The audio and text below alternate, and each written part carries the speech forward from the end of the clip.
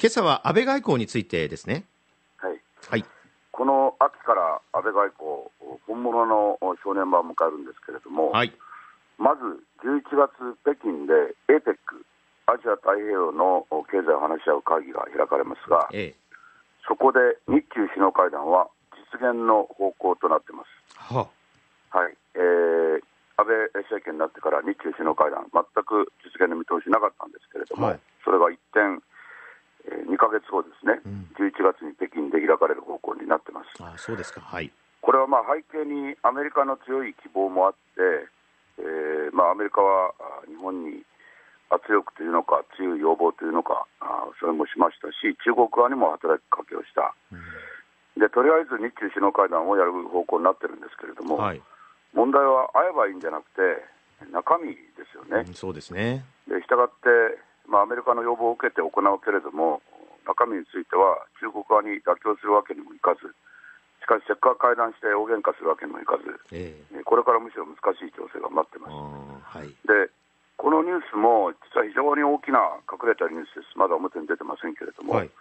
しかし、まあ、いわばあこれだけですと、まあ、アメリカがそう言うからということで、敗戦後のお日本外交の今までやってきたことに近いわけですね。はい。ところが、えーもう本当にこの一両日の間に決まってきたことなんですが、敗戦後の日本外交を覆すようなあ決定を安倍さん自らがあ下しました、はい。えーすなわちアメリカに逆らう外交ですね、うん。えーそれは何かというと、プーチン大統領、ロシアのプーチン大統領のお11月、同じ11月の日本訪問をはい。受け入れるとはい。いうことを安倍さんが決断しまして、おそうですか。えーまだ報道されてない事実として、あるいは計画として、えー安倍さん自身の親書を今、作成中で、はい。それを森喜朗元総理に託して、森さんがまずうロシアを訪問して、プーチン大統領に会って親書を手渡し、えー今あー、ウクライナ情勢をめぐって、欧米があロシアに制裁を科して、はい。で日本もお欧米よりは柔らかい制裁であってもいくらか制裁を科したところ、お最近、ロシア側が日本にえー逆制裁、つまり報復をしてきて、ええー一部の日本人のロシア入国を拒絶するというような挙に出てるわけですね。えはい。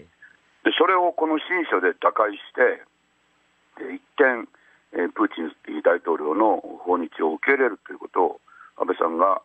決断しました。あそうですか。でこれは実はあ大変なことで、えーこの番組で2回にわたってお話ししましたけれども、おワシントン DC にこの間、あ僕も行ってきたばかりですけれども、そこであったアメリカ政府のお非常にい地位の高いい当局者、えー実はオバマ大統領は外交が苦手ですから、はい。この外交安保については、オバマさんに決定的な影響力を持っているという人が、例えばあ僕に、えープーチンさんは侵略主義者であると。はい。で安倍さんがこのプーチン大統領と妥協するのは許さないということをはっきり言いまして。でワシントンで会ったあアメリカの当局者の中には、プーチンさんは悪魔だという人までいるわけです。おはい。でしたがって、えーこのウクライナで揉めてるさなかに、プーチン大統領の訪日を受け入れるというのは、外務省ではとってもおできないい決定であって、ええーこれは文字通り安倍さん一人が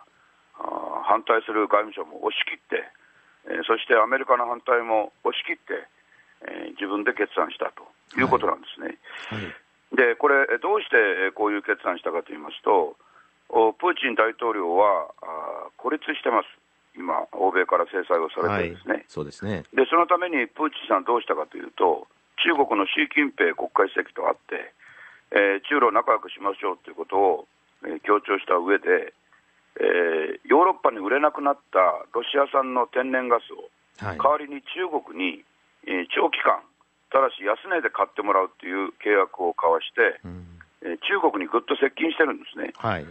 でプーチン大統領は、あー確かにえークリミアを併合したりって問題を引き起こしてますけど、同時に戦略家でもあるんで、ええこの中国にただただ接近するだけだと、中国にやられてしまうということを考えている人で、うん。したがって日本を必要としてるんですね。はい。日本をいわば中国とロシアの間に入れることによって、えー、プーチン大統領は中国とのバランスをなんとか保とうとしてます。したがって日本外交に今までなかった役割ですね、これは、はい、あロシアや中国のような大国の間に割って入るっていうのは、今までやったことない、えー、新しい試みですから、安倍さんとしては日本外交自立のためにこれが必要だと思ってそれからもう一つは、先ほど、えー、RKB 毎日のニュースにもありましたね、はい。えー、プーチン大統領がいわば水面下で安倍さんの要望にも応える形で、はい。えー、ベラルーシのミンスクという町で、ウクライナのポロシェンコ大統領、大喧嘩しているポロシェンカ大統領と会いまして、えー、そしてがっちり握手するところを写真にも撮らせました、はい、具体的な話の中身はこれからなわけですけれども、はい、とりあえずプーチン大統領は、このヨーロッパ諸国などの希望、あるいはアメリカの考えにも沿う動きをしてみせたんですね。でこれはもちろんウクライナ情勢がこのままいくと、最悪にも最悪になっていくってこともありますが、実はこの11月に無事に日本に行くためには、これをやってみせないといけないということを、まずプーチンさんが踏み出した、はい、あそれを前提にして、安倍さんはこの決定をしたわけです。ただし、この安倍さんの決定というのは、プーチン大統領がウクライナのポロシェンコに、ポロシェンコ大統領に会う前です。はい、直前にまずそれを決めて、決めたよ、だから頼みますよということを水面下でプーチン大統領に伝えたわけです。こういう動きっていうのも、まず今までの日本外交では考えられなかったんです。で、これ、まだ2か月ありますから、アメリカが当然、横やりを入れてきますから、はい、本当に実現するかどうか、まだあ分かりませんが、もし実現すれば、間違いなく敗戦後、日本外交の転換点になります。ただし、大きなリスクがあって、はい、じゃあ、プーチン大統領がやってきたとき、そのトランクの中に、北方領土で意味のある新しい提案があるのかどうか、うん、そうですね。これ、なかったとしたら、ただただそのプーチンさんのいわば要望に沿って安倍さんが動いただけだという、アメリカだけじゃなくて、国際社会の評価になりかねませんから、はい、わずか2か月の間にプーチンさんに北方領土問題での妥協を作らせなきゃいけないという重大な問題がこれで生まれました、うん。はい。まあ、一方で、別にトランクの中身なくても、とりあえず会うだけで意味あるじゃないかっていう考え方もあるでしょうが、はい、本当はわずか2か月の間に、何十年間も解決できなかった北方できなかった北方領土問題について、前進を作らなきゃいけない、えー、そういう意味では、大胆で決断力決断力のある安倍外交ですけれども、大きなリスクも伴っているということです。はい、